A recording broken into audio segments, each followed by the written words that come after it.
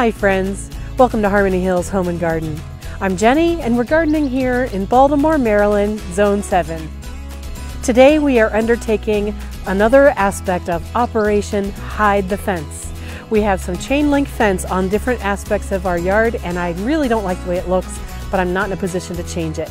So let's get started putting some things in place that will help hide that fence from view.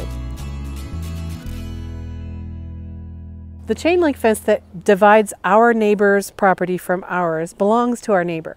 So we're not really in a position to be able to take that down and replace it. The chain link fence that's on the back of our property belongs to us, but again, it's not really, we're not in a position right now to replace that fence.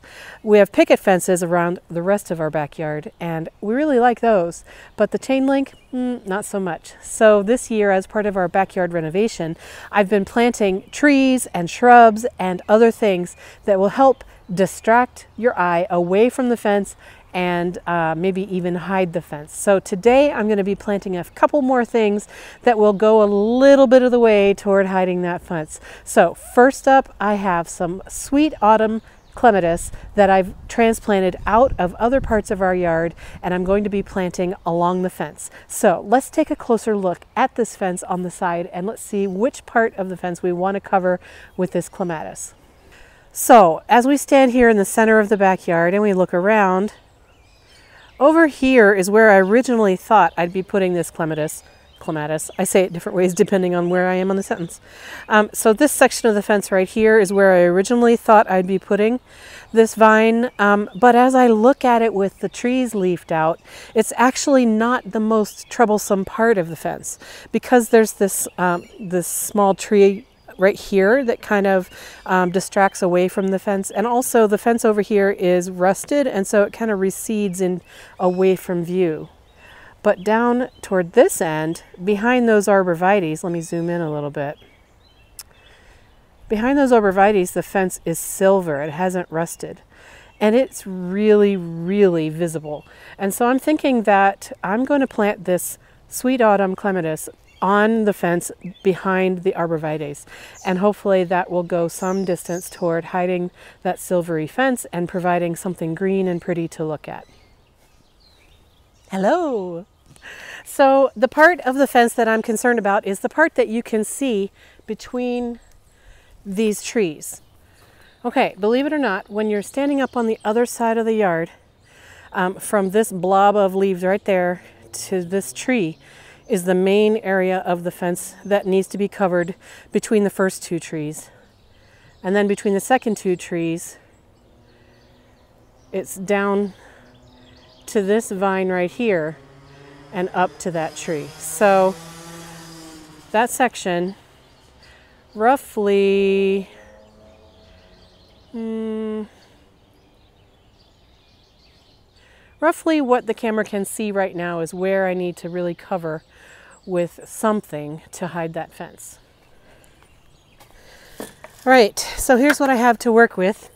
This is a clump of sweet autumn clematis that I dug out of a front flower bed. It's been sitting here with its roots exposed, drying up, but still not dead. I think about two weeks it's been sitting like this. And then here is another clump of sweet autumn clematis that I dug up from the front corner out by the street. And you can see that it doesn't have any root ball to speak of, but I have been having it sit in water. So it's not quite as dead as you might have thought it was going to be. So um, I think I'm going to put the one with the dirt on it over there. And to put these over here. I'm going to be using Biotone starter fertilizer. Hopefully that will help it take nice root. And then for especially for the longer one, I'm going to go ahead and train the vines up onto the fence to get it started um, climbing. And uh, the other thing about this area is from this tree over to there, there are old shrubs and lots and lots of roots. So I'm not exactly sure how well I'm actually going to be able to plant this. I want to preserve as much of this vinca as I can because I like this ground cover here. So I'm going to try to be gentle with my hole and try to get around those roots. I don't know what I'm going to find, but let's do it.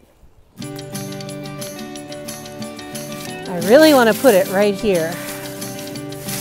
let's see if I can.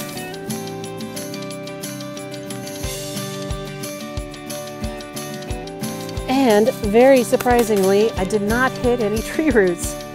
Let me get some fertilizer.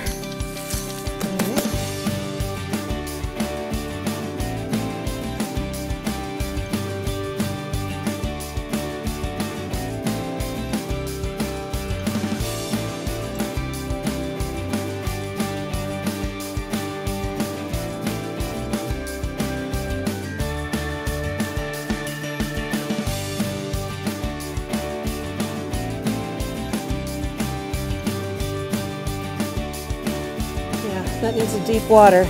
But other than that, I think that's about as good as that gets.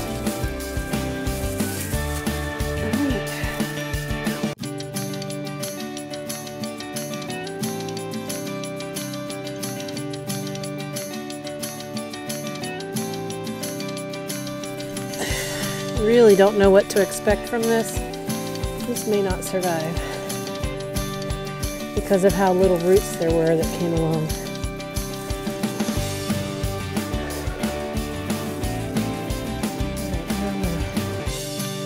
give it a jump start on this fence.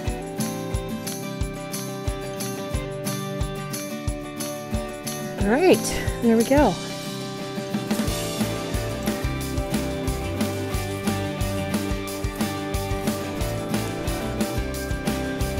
Get some water on that and hopefully it'll be doing pretty well. All right, I'm over here on the back fence now and I have this little radar love clematis that is really short right now, but it can grow up to 8 to 10 feet tall. And I think I want to put this on this, this fence here, and especially right here where there was a tree limb that came down and it bent this pole and it bent this fence. I'm thinking if I can get this vine to grow up and cover that up and have beauty instead of ugly, then that'll make me happy. You might remember that over there on that part of the fence, I've got a firethorn. Um, uh, which variety is it?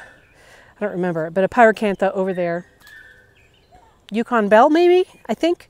Um, and so it's being trained on that fence as well. So I don't think that this one is actually going to get wide enough that they'll meet in the middle. So this will just be another thing on the fence over here. So uh, I just need to get my uh, shovel and get this in the ground. Another method we've been using to help hide this fence is to train this English ivy up onto the fence. And every spring it comes out with these fresh green, bright, new um, growth. And every spring we pull these new growths out of the ground and weave them onto the fence.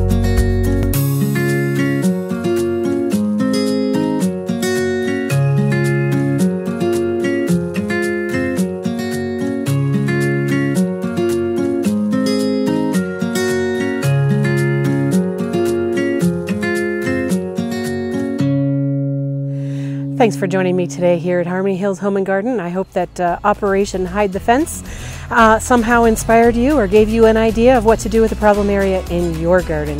Um, I will be going through with the garden hose and making sure that all my new plants get watered in really deeply. And then um, I'm just going to continue upkeep on them and try to get this chain link fence a little bit beautified. So thank you again for joining me today. I hope you have a wonderful gardening day and I will catch you in the next video. Thanks. Bye-bye.